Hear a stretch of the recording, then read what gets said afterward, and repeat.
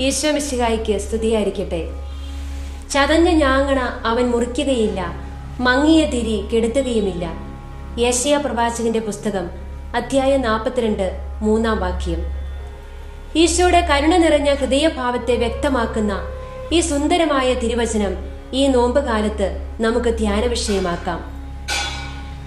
കുനിഞ്ഞ മുഖവുമായി നിന്ന പാവനിയായ സ്ത്രീക്ക് ആത്മവിശ്വാസം പകർന്നതും ഇടറിപ്പോയ പത്രോസിനെ തിരികെ നടക്കാൻ പ്രേരിപ്പിച്ചതും ഈശോയുടെ കരുണ നിറഞ്ഞ സ്നേഹമാണ്.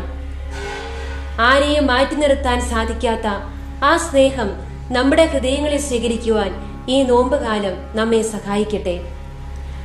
പാപവഴികളിലൂടെ നടന്ന് വികരമായി പോയ വിശുദ്ധിക്കു മങ്ങലേറ്റ ജീവിതങ്ങളെ തള്ളിക്കളയാതെ കുറ്റപ്പെടുത്താതെ ഇനിയും നിനക്ക് രക്ഷയുണ്ട് എന്ന പ്രത്യാശ പകർന്ന് ബലപ്പെടുത്തുന്ന ഈശോയുടെ സ്നേഹം നമുക്ക് അനുഭവിക്കാം.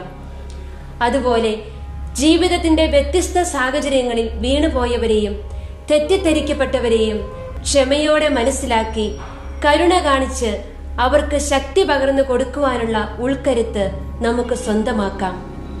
ഞാൻ നിന്നോട് കരുണ കാണിച്ചതുപോലെ നീയും നിന്റെ സഹസേവകനോട് കരുണ കാണിക്കേണ്ടിയിരുന്നില്ലേ എന്ന ഈശോയുടെ വചനം നമുക്ക് സ്വീകരിക്കാം.